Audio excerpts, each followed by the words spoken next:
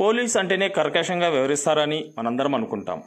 కానీ వారిలో ప్రేమ దయ గుణాలుంటాయని అనడానికి నిదర్శనమే రంగారెడ్డి జిల్లా షాద్నర్ జాతీయ రహదారిపై టోల్గేట్ వద్ద లారీ డ్రైవర్లకు షాద్నర్ ఏసీపీ సురేందర్ మరియు శిక్షణ ఐపీఎస్ అధికారి రితిరాజ్తో పాటు వారి సిబ్బంది డ్రైవర్లకు ఆహార పొట్టాలు అందించడంతో పాటు రాత్రివేళ డ్రైవింగ్లో తీసుకోవాల్సిన జాగ్రత్తల గురించి కూడా వారికి వివరించారు.